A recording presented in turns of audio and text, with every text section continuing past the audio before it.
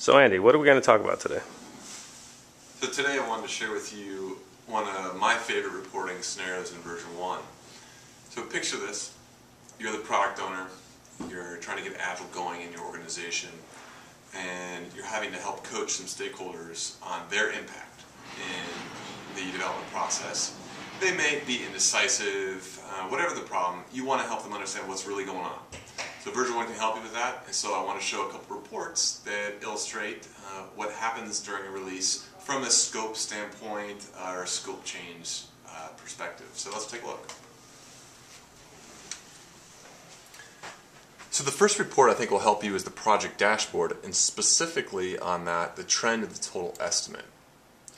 What this will show you is how well did you understand the scope of your release at the beginning, in this case, you know, 228 points, till where you are now, which uh, you're seeing is over 270. So a lot of work has gone into release since we started uh, delivering on it.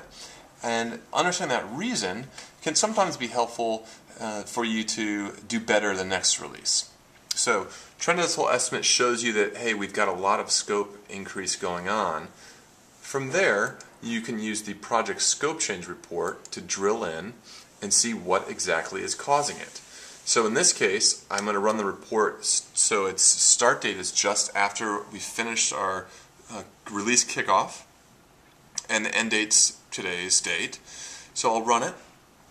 And from here you can see the, a summary of what's happened. So we increased by 44 points what are the actual items that were added? So you might be finding that the items added were because we've got some defects coming in, or they might be because we're further understanding the, the work in the release, or just straight up adding new items into the release. So that's what could be here for the added. Removed could be items that you've, you're further identifying and breaking down those larger epics. That's the case here with order check.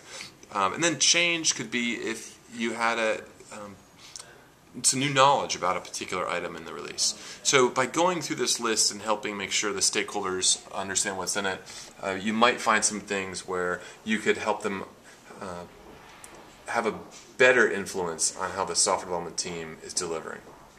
So I hope that helps and look forward to seeing how your conversations with stakeholders go. Let me know how they go. Bye-bye.